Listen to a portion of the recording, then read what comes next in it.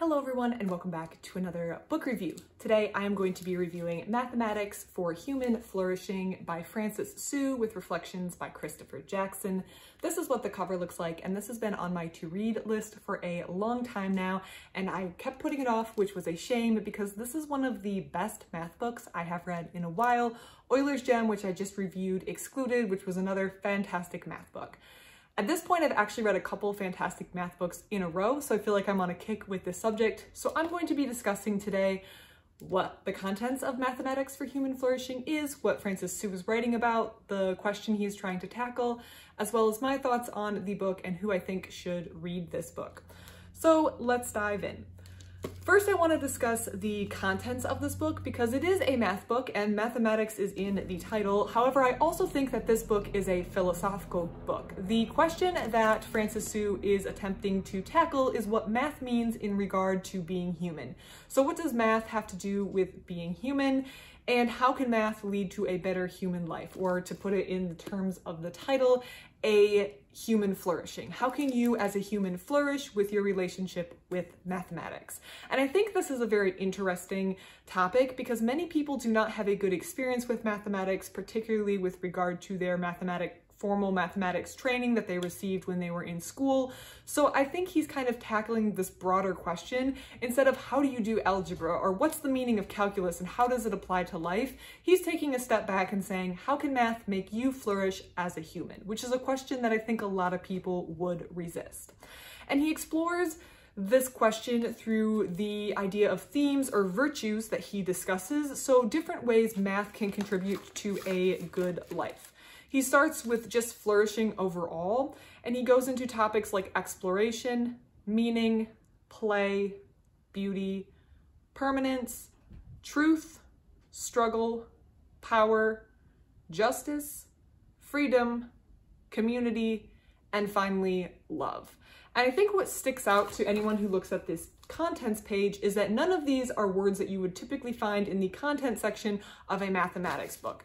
I'm going to be reviewing another book here shortly, and I'm just going to read the contents of this other math book that I'm going to be reviewing, what that contents page looks like. And you can tell immediately that there is going to be a big difference. If I can find the page what is topology? Making surfaces, the plane and other spaces, flavors of topology, very math sounding content. So already Francis Su is taking the opportunity to step away from the jargon and the terminology of math to discuss big concepts. What about play in mathematics? What about the permanence of mathematics? What about the struggle of mathematics? And I really appreciate that. So he there is an idea that I think a lot of people can understand, and that is math underpins a lot of what we do in life. Math underpins a lot of our decisions, a lot of the day-to-day -day world that we live in. And sorry, my cat is scratching the sofa. and we understand that math is really important to having a good, rich life around us, but a lot of us think that math is for others. Math is for other people, math is for smart people. And Francis Su is trying to explain that you can benefit from doing math, from learning math, from exploring math, from understanding math better, even if you feel like you've had a poor relationship in the past, because math is so present, ever present in the world around us, and is such an important part of the world that we live in today. And by going through these virtues, he talks about the importance of struggling through problems, the permanence of mathematics, the beauty that can be found in math, and each of these virtues is explained in more philosophical language as it relates to math. So never in this book, or very rarely in this book, are you going to see mathematical notation. Here we have community. Community is not a word that we think of when we think of math. And as you can see, as I go through page after page, there's no mathematic notation. We're not learning how to do algebra. We're not exploring geometry. We're not discussing the history of mathematicians. We're discussing community and how it relates to math. So I think he's making it accessible to people who have a fear of math or who don't like math at all. I want to go through a couple takeaways from the book that I personally liked, although in honesty, I liked almost every single page in this book. This was one of the best book math books I have read in a long time, including the book Euler's Gem, which I just read and reviewed, which was another fantastic read. And there's three things I do want to talk about just to kind of explain what Francis Su is talking about in this book and maybe get you interested to read the book yourself. The first is his assertion that math is for everyone. And the the analogy that I came up with when reading this section was just like running, which is something that I think a lot of us don't understand. And I'm going, not running math for everyone. People understand running. So I'm going to first do my running analogy and then that I kind of made up and then talk about how math is for everyone. So we understand that there's going to be the big names in running, the people who are running marathons, breaking records, people who are running the fastest times. We know names like Usain Bolt. We know people who run in the marathons. We love seeing people run fast marathon times, uh, but it's we understand that running has benefits for everybody. We don't, you don't have to run a 220 marathon time to be gaining health benefits from running, to understand the community of running, to understand the love of running, to understand that running has health benefits for your heart, for your ability to do other cardiac activities. There's a whole slew of benefits to running and you can get a lot of these virtues and benefits from running without being one of the greatest. And the greatest are gonna push limits and be fun to watch and be enjoyable to follow, but you don't have to be a great to reap the benefits. But when it comes to math, we tend to think that only the best are the people who are cut out for math. Think about the people who are the best in your high school math classes. You just understood, okay, they're, they're math people. That's a word that we usually use. They're math people. But we don't just assume people who run a 220 marathon or a sub 220 marathon are the running people and the rest of us have no shot. We don't need to be messing with math. We, we ran in gym class and we never need to run again and thinking that you can get benefits from math if you aren't in the top is silly. That is not how math works. It's not how running works.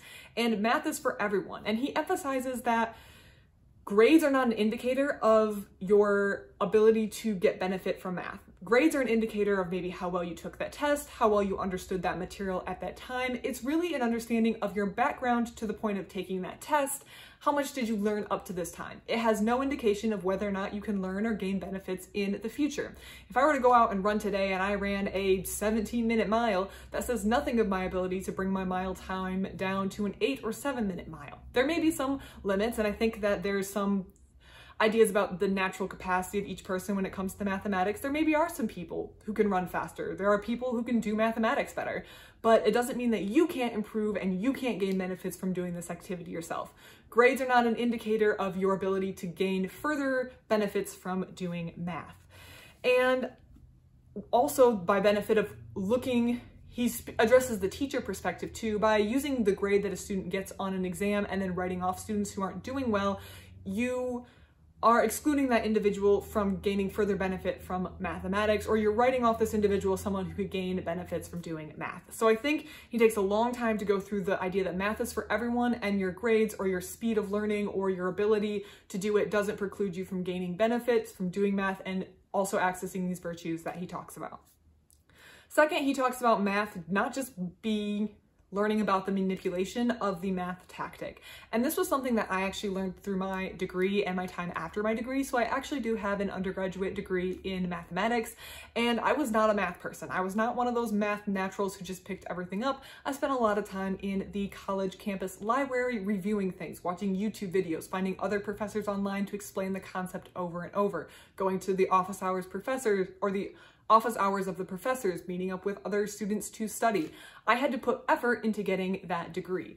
But something that I really started to understand as the degree went on was I wasn't probably going to graduate and because I knew I wasn't immediately going on to do any sort of advanced degree and I definitely was not going to be doing any sort of PhD in mathematics, there the I wasn't going to be graduating and then doing the actual mathematics that I was learning in the class on a daily basis. But instead, the benefit of doing a math degree for me and that was impressed on us is the benefits or the virtues, as Francis Su talks about, that doing math teaches us. So the first is patience. Your first attempt is not going to be probably the only attempt and you need to have patience as you work through a problem. All problems are not solved overnight. We think about big unsolved problems in mathematics or problems that became solved and it took a lot of work to get to that point. Next, he talks about approaching a problem in multiple ways. And this is something that's been really helpful in a wide variety of areas in my life, not just math, but I think was honed through math, is that when you have a problem and you approach it one way and you can't solve it, part of the math degree is learning how to approach a problem multiple ways and also combining with the first point, having the patience to approach a problem in multiple ways. So I think that was something else that the degree taught me that Francis Su also emphasizes, approaching a problem in multiple ways. And finally, something that I think all of us can still work on is comfort in being wrong. You might be wrong about something. In fact, you're going to get answers that are wrong. Nothing is worse than solving a problem, flipping to the back of the book, and seeing that your answer doesn't match the answer that's in the back of the textbook. That's frustrating. That's really frustrating. But part of math is understanding that's going to happen a lot, and you need to be comfortable or you need to get more comfortable with being wrong because that will eventually lead you to the right solution. So these are some things that Francis Su talks about and things that I've also discovered in my own studies through math when I was in college, in that a math degree or studying math or the benefits of math extend well beyond learning the manipulation, let's say, of the symbols on the page to get your proof or get your solution. Finally, he talks about we all stand to gain for math, which kind of from math, which ties in with the first point. And Francis Su makes a point that I was hoping he was going to make in the fact that math, this is upside down, math is rather exclusionary now. We, we've already addressed the point that teachers might see a kid who got a D on a assignment and or on an exam and think, well, this kid just isn't good at math. He just needs to get through this grade. Math isn't for him. He's struggling. He's behind. He doesn't understand the content. And maybe this kid has no interest in going on to study math. Maybe the kid is not going to get a PhD in mathematics, but he deserves to get the benefit of learning math. And that D only reflects where he is now. It doesn't show accurately how far he can go in the future. I have gotten my fair share of bad grades on math assignments, math tests, and that had nothing to do with where I went in the future. In fact, when I took my college entrance exam here in the United States, I took the ACT, math was my lowest score. I actually got quite a good score overall, but math was rather average for me, and if I had gone just by that score, I would have said, let's not do math, let's do another topic that I scored higher in, but that indicator on that test had no indication of where my future trajectory in college was going to go. And I think it's very important to keep that in mind, especially if you're teaching math, that a grade is not an indicator of the ability to glean benefits, or as Francis Su calls them, virtues from math, and it doesn't indicate how far that student could go. Although I assume, just like running, all of us have a natural limit, there's a natural limit where I'm not going to be able to understand or contribute to math anymore, but by not being artificially stopped by a poor grade earlier in life, I could go as far as I can, and I'm sure I haven't hit my limit yet. I really recommend this book to anyone interested in math. I think it's very important if you're a teacher to maybe learn a better way to think about math. I think a lot of people's dislike of math comes from poor math teachers, and I think we have a shortage of good math teachers, at least here in the United States, and I am contributing to that. I did not go into math teaching. So I think if you teach students, or even if you have maybe a kid that you your own kid or a kid that you're close to that you're talking with or that you do homework with, maybe understanding ways to talk about math and the benefits of math could come from this book. I know a very common question from kids is, when am I going to use this? That's a common question from kids when, especially when it comes to math. And I think having a book like this under your belt is a good book to have so you can talk about the benefits of math. If you're interested in math from maybe a more of a philosophical perspective, or if you're curious about any of the ways that you can get benefits from math, maybe if it's been years since you've taken a math class and you're looking to get back into it, but don't really understand any benefit beyond the pleasure of doing the manipulation correctly on the page. Mathematics for Human Flourishing is a fantastic book. Su wrote a fantastic book. Oh, and I've totally forgotten the other part that I wanted to include, Reflections by Christopher Jackson. So throughout this book, Francis takes time to include letters that he received from Christopher Jackson, who is an individual serving prison time in the prison system here in the United States. He committed armed robbery as a young, or as a a young adult, a late teen, I believe it was 19 years old, and he got sentenced to about 30 years in prison, I believe. But in this time, he picked up mathematics, and these reflections show that anyone from any background should not be barred from studying mathematics. As Jackson continues to self-study, he's gone quite far in his study of mathematics, and he's gained quite a bit of benefit from all the different virtues, well beyond just the manipulation or the time passage from this time that he has to spend in prison. And you can really see from the impact of his letters the way that math has influenced Jackson's life and his communication with Francis Su. I definitely did not want to forget that, and I'm very sorry that I did. That is another important part that was very meaningful to this book, and I think it really wraps up the idea that anyone can benefit from math and anyone can gain from learning math and exploring math on their own.